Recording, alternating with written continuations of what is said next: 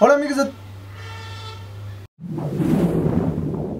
Hola amigos de Top Comics, bienvenidos una vez más.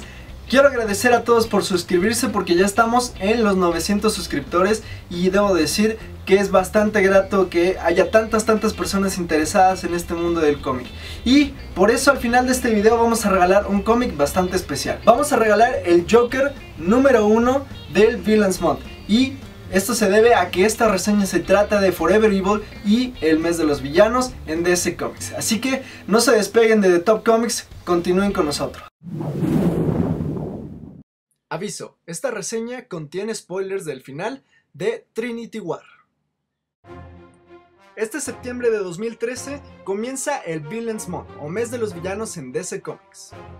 Y todo arranca a raíz del final de Trinity War, que involucró a los títulos de Justice League, Justice League of America y Justice League Dark.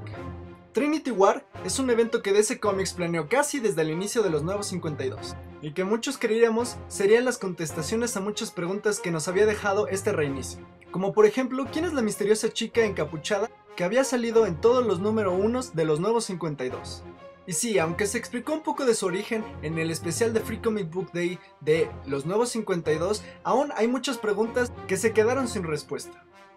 Pero no estamos aquí para hablar de Trinity War, por lo que solo tomaremos una parte muy importante de esta historia, el final. La llegada del Crime Syndicate.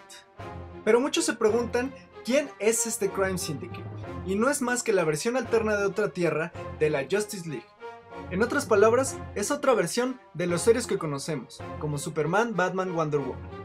Si les interesa saber más sobre estos personajes, les recomiendo ver la película animada de DC llamada Justice League Crisis en dos tierras. Retomando la idea anterior, es el final de Trinity War el que nos lleva a Forever Evil número 1, donde el sindicato del crimen vence a la Justice League e instaura una era de terror, donde los villanos son los que reinan. Pero claro, saben que no pueden hacer esto solo, por lo cual liberan a los mayores y más terribles villanos del planeta Tierra. Forever Evil está escrito por Jeff Jones y dibujado de una manera espectacular por David Finch. Y debo de decir que esta historia empieza con el pie derecho, no solo por el dibujo, sino por la historia de Jeff Jones, que te atrapa desde el primer segundo. Además, David Finch logra sintetizar sus lápices para hacer uno de los mejores trabajos en toda su carrera. Personalmente, Forever Evil es un cómic que me emocionó desde el principio y creo promete mucho para los siguientes números. Este cómic dibujado por David Finch y escrito por Jeff Jones estará durando casi 7 números. Y sí, este cómic es el que desencadena el Villains Month y el que desencadena 52 títulos donde los villanos serán los principales personajes en este mes que si bien no tiene un link directo con Forever Evil, ha levantado la expectativa muchísimo más que el mismo título de Forever Evil. Ya que DC hace unos meses anunció que estas portadas saldrían con ediciones especiales en 3D. Y esto no solo llamó la atención a los fans de DC Comics, sino a todos los coleccionistas de historietas, ya que hace mucho no se veían este tipo de ediciones, y sobre todo en esta cantidad y magnitud.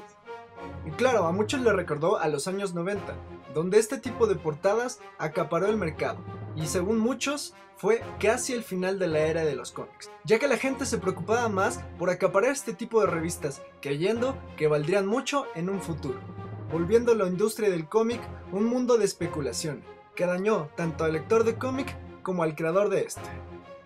Entonces la pregunta obvia sería, ¿es algo negativo comprar estas ediciones? La respuesta es no, ya que aunque estos cómics están escritos y dibujados por creadores secundarios, las historias no son del todo malas, ya que la mayoría de las historias se enfocan en contarnos un poco más de estos villanos.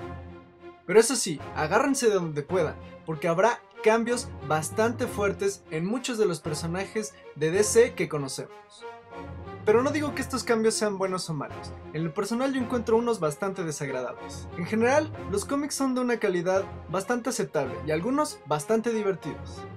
En cuanto a las portadas 3D, debo de decir que no son magníficas, pero cumplen su trabajo en verse llamativas.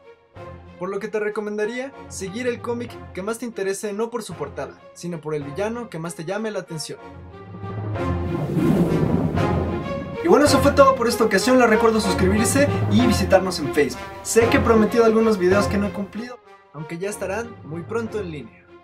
Pero mientras, les comento cómo se pueden ganar este cómic de regalo de Batman 23.1 que aclaro es portada 2D. Lo que tienen que hacer es mandar su respuesta a la pregunta ¿Cuál es tu villano favorito y por qué? La respuesta más creativa será la ganadora. No olvides enviar tu respuesta a topcomic1.gmail.com. Tienes hasta el 18 de septiembre de 2013. El anuncio del ganador será el 19 de septiembre en nuestra página de Facebook.